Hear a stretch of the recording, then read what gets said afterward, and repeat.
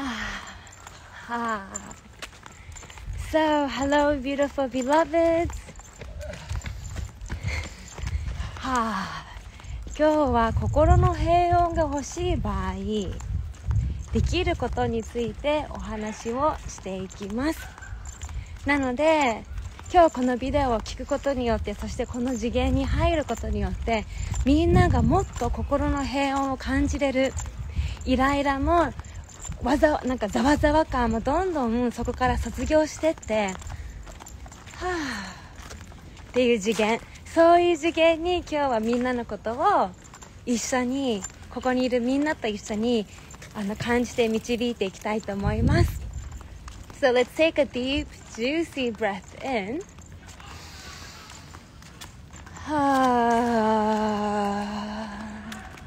そしてお手手が自分の心からかから 肉体の神殿にあったら自分の肉体の振動はあこの自分のバイブレーション自分の反動を感じていきましょう。はあ beautiful hello hi さやか hi エリさあ心の平穏が欲しい場合っていうことはまず心が平穏心の平穏が感じれない時をお話しすることが大事だよね。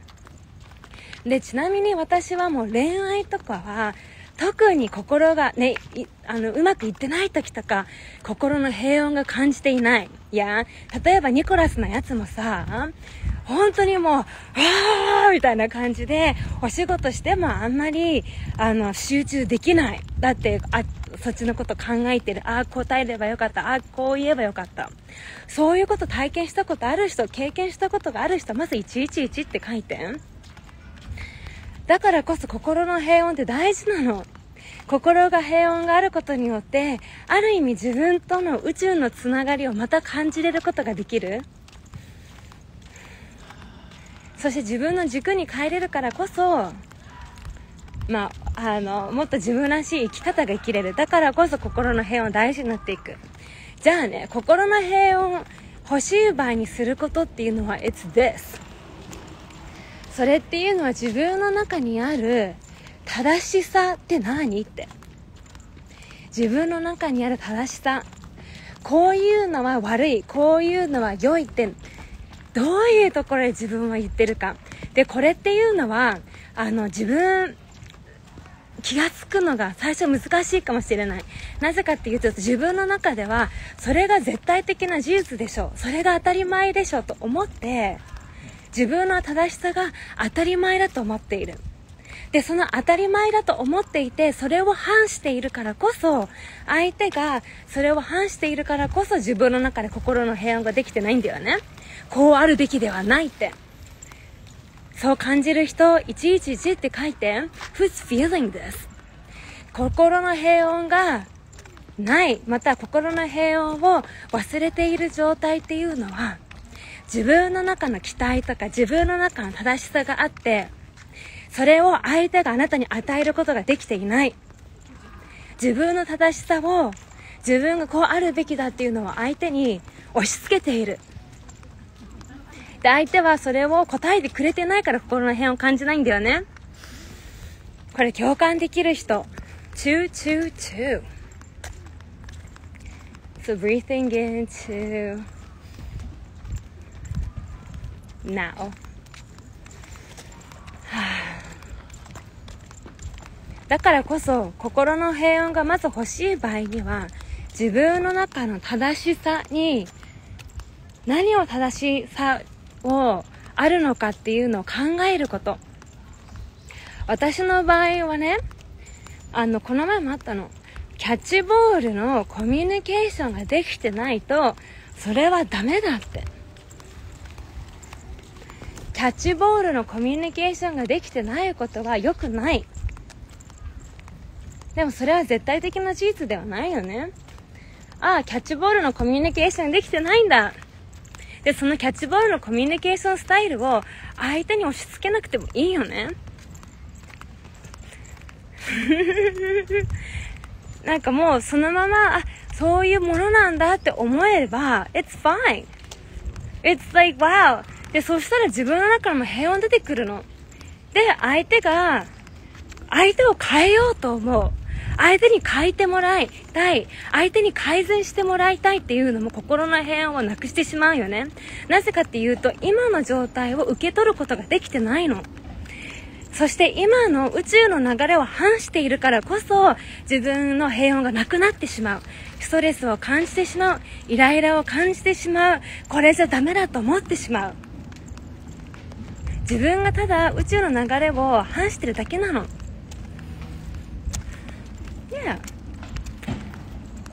で、これっていうのは、あの、で、ここ、で、その、今、うん、そうだね。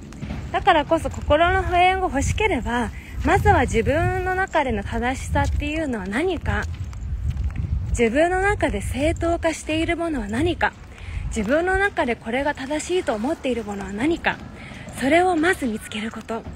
でこれも本当に起業においてもそうだよね昔の私は朝から効率的に働かないとダメだと思ってたのでもこれもまた無意識 But is that true? No, it's not. それも自分が作ってしまったまたは、まあ、作結果作ってしまった固定概念なんだよで自分の中で自分をプレッシャーしていたからこそあ私にはなあなんでできなかったなんで朝からあの効率的できなかったのだやっぱりダメだダメだダメだそこで心の平穏がなくしてしまうの。でそれで You get distracted. You get distracted to your mission. 自分がの喜びやっぱ喜びっていうのは It's your sacred mission on earth. この世界で生まれてきての聖なるミッションが自分の喜びだよね。喜びを感じることが It's your sacred mission. それから、あの、離脱してしまうの。自分の正当さが。Are you following me? これわか、感じられる人111って書いて。Thank you, ヒロくん。だから自分の正当さが自分の喜び、Your sacred mission をから離脱してしまう。だから起業も朝から効率できてなくても It's okay もしかしたらその方法が今その時は自分が向いてないのかもしれない。That's it! You know, わざわざ自分のことを殻に入れなくてもいいの。だって殻に入れてしまったらどんどん自分に素直になっていく。これも私のあのなんだっけ夏至冬至満月アファメーションでも話したけどあ、何を言うのか忘れちゃった。what, what was I gonna say? Anyhow, ありがとう、チコちゃん。Thank you. Yeah. あ、それ、そうそう。だから自分の正しさが、自分の正しさが、このセイクルミッションから離脱してしまう。だからこそ、まずは、どんどんどんどん気づいていこうね。So, thank you everyone. I love you all. まあ、これは起業っていうよりは普通の人生ライフなんだけど起業についても関係することだからこそ起業だったり夢を実現したいとか恋愛とかでももし自分がネガティブに感じているのであれば自分の中の正しさは何か自分の中でのこうあるべきだっていうものを見つけてそれを手放していこう。I love you. でもし自分の中ででもこれを手放してしまったら私はずっとこれを抱えなきゃいけない。って思うのであれば No. No No No No.